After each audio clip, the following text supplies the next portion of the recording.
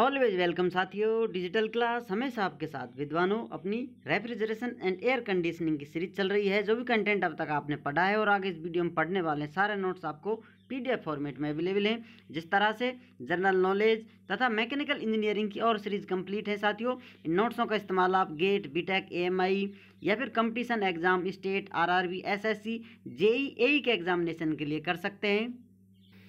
हाँ तो मेरे जिम्मेदार देश के जिम्मेदार नागरिकों शुरुआत करते हैं liquid vapour regenerative heat exchanger. यहाँ पर साथियों हम सिस्टम से हीट लेंगे सिस्टम को हीट देने वाले हैं। तो किस प्रकार से क्या चेंज देखने को मिलता है? इस प्रकार का सिस्टम यदि हम बनाते हैं। यहाँ पर साथियों अब तक सिंपल अपना होता था कंप्रेसर, उसके बाद कंडेंसर, उसके बाद हुआ करता था एक्सपेंशन वाल इवेपोरेटर, उसके बाद फिर से कंप्रेसर। इस प्रकार से प्रोसेस चलता रहता था। लेकिन अब इसमें से इन लाइनों को हम साथियों हीट हीट एक्सचेंजर में से गुजारते हैं इस लाइन को इस प्रकार से, फिर इसके बाद इस लाइन को इस प्रकार से। तो हीट एक्सचेंजर के साथ अपना नया सर्किल बन जाता है साथियों, जिसमें एवेपोरेटर लाइन जा रही है साथियों, हीट एक्सचेंजर में, उसके बाद जा रही है कंप्रेसर में। कंप्रेसर से साथियों कंडेंसर कंडेंसर से, फिर हीट एक्सचेंजर जाते हुए साथियों एक्सपेंशन वाल्व उसके बाद फिर एवेपोरेटर में। इस प्रकार से ये साइकिल कंप्लीट हो रहा है। जैसा हम जानते हैं साथियों कंप्रेसर और ये एक्सपेंशन वाल्व है, इससे नीचे लो प्रेशर होता है साथियों टेम्परेचर भी लो होता है, उसके ऊपर हाई टेम्परेचर हाई प्रेशर होता है। तो अब यहाँ पर जो ये लाइन आ रही है कंडेंसर से इसका टेम्परेचर हाई होगा साथियों और जो वापस जा रही है ऑपरेटर से इसका टेम्परेचर लो होगा। तो हाई टेम्परेचर इसके लिए हीट देगा और ये लो टेम्परेचर इसको कूल करेगा। तो अब यदि इस प्रोसेस को आप T S temperature entropy diagram में शो करना चाहें तो किस प्रकार शो कर सकते हैं साथियों? जैसा कि ये अपनी सैचुरेटेड लिक्विड लाइन होती है, क्रिटिकल पॉइंट होता है, उसके बाद सेचुरेटेड वेपर लाइन होती है। यह कहा जाए, ये डूम होता है जो बार बार इस्तेमाल करते रहते हैं हम, इसका इस्तेमाल आपने बहुत बार किया होगा और करते रहेंगे। सिंपल अपना वेपरेशन कंप्रेशन साइकिल इस प्रकार से कंप्लीट हो जाया करता था साथियों, इस प्रकार से एक साइकिल कंप्लीट हो जाता था।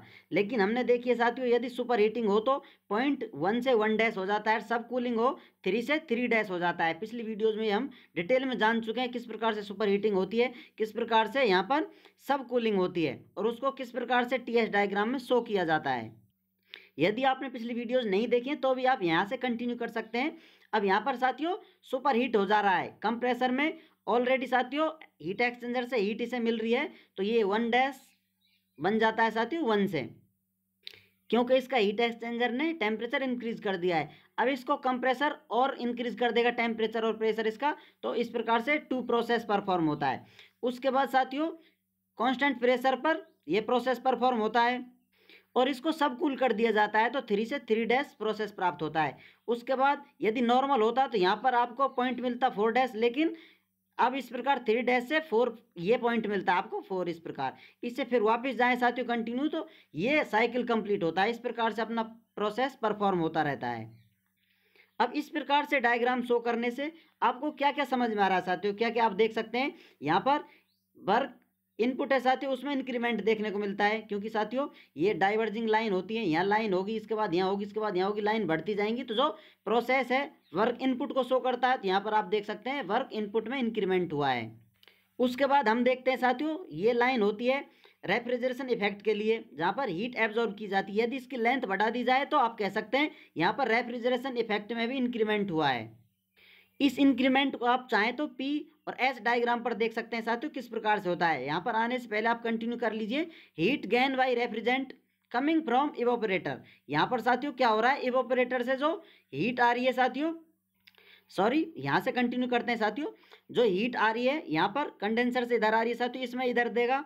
अब ये हीट एब्जॉर्व कर लेगा।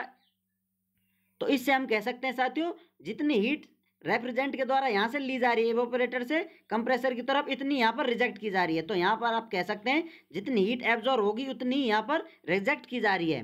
दोनों हीट बराबर हैं absorb is equal to reject तो आप कह सकते हैं heat gained by refrigerant coming from evaporator is equal to heat lost by refrigerant coming from condenser evaporator की तरफ़ से साथियों हीट जो रेफ्रिजेंट आ रहा है वो हीट गेन करेगा और जो किसके इक्वल होगा? हीट लॉस बाई रेफ्रिजेंट इसके द्वारा रेफ्रिजेंट के द्वारा हीट लॉस्ट की जाएगी कौन से वाले द्वारा? कमिंग फ्रॉम कंडेंसर कंडेंसर की तरफ़ से जो आ रहा है क्योंकि वो गर्म है, वो हीट लॉस्ट करेगा। तो इस प्रकार से दोनों हीट बराबर होंगी।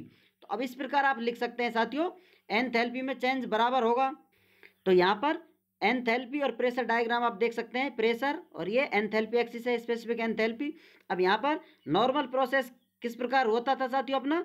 वन उसके बाद टू थ्री फोर इस प्रकार साइकिल कंप्लीट हो जाता था। लेकिन यहाँ पर सुपर हीटिंग हो रही है साथियों तो वन से वन डैश हो गया है और कूलिंग हो रही है थ्री से थ्री डैश हो गया है। तो इस प्रकार अपना, अब न्यू सर्किल किस प्रकार से कंप्लीट हो रहा है? यहाँ पर आप देखेंगे वन डैश से टू थ्री डैश फोर और वन डैश इस प्रकार से न्यू साइकिल कंप्लीट हो रहा है। तो आप कह सकते हैं साथियों हीट लॉस्ट हो रही है यहाँ पर हीट गेन की जा रही है, दोनों बराबर होंगी। ये दोनों इक्वल होंगे तो इनको एंथैल्पी फॉर्मेट में आप लिख सकते हैं।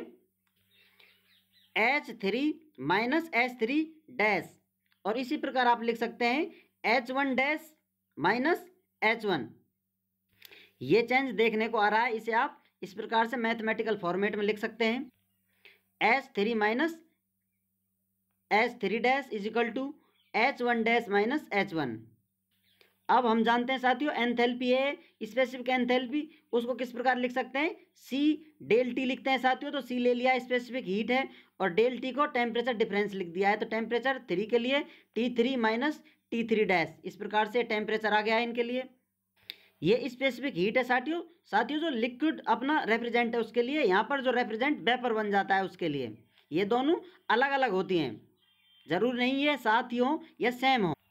इस एंथैल्पी फॉर्मेट के लिए हम लिख सकते हैं C P V into T one dash minus T one इन टेम्परेचर डिफरेंस को आप इस प्रकार देख सकते हैं। थ्री डैश थ्री और वन वन डैश इस प्रकार से टेम्परेचर डिफरेंस देखने को मिलता है साथियों। ये degree of super heat degree of super cool कहलाएँगे। आगे जाकर देख रहे हैं साथियों इनको।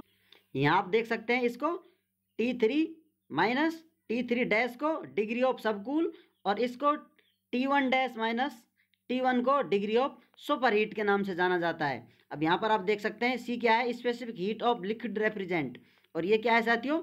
C P V specific heat of vapour refrigerant अब इस प्रकार डिटेल स्टडी करने के बाद आप कह सकते हैं liquid vapour regenerative heat exchanger में आपको वर्क इनपुट और रेफ्रिजरेशन इफ़ेक्ट भी दोनों देख इंक्रीमेंट देखने को मिलता है। यहाँ पर आप देख सकते हैं, ये होता साथियों, और इसके बाद ये लाइन है, थोड़ी इस प्रकार तिरछी है। तो इस लाइन से बढ़िए तो वर्क वर्क इनपुट में इंक्रीमेंट देखने को मिला है।